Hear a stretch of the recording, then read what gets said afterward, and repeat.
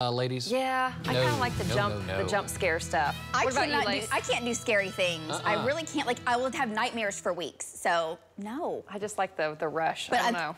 But they're very popular. You're, you're not alone. exactly. Now she's in a great mood. This is wonderful. So I had to show you this picture from, from Dustin. Okay, this is an antlered doe. Does happen. Not incredibly rare, but does happen. This doe has grown antlers. They're still in velvet. Typically, they almost look like mm-hmm. cauliflower. They get all kinds of crazy. Genetics do some crazy things. But congrats to you, Dustin. And keep your pictures coming. Today, we're in the 70s. We're warm. Youth gun season opens tomorrow. We're in the 80s. 50s. First light will be at 710, sunrise at 740, starting in the 50s, warming into the 80s coming up for tomorrow. And unfortunately, the temperatures are on the warm side for youth season. That does happen, but hey, you know what? If those tags aren't filled, you still get to use that for the rest of the season. And coming up the following weekend, the weekend before Halloween, black powder opens and it turns a lot colder. Love your full forecast and we're talking about rain likely. It's coming up after this.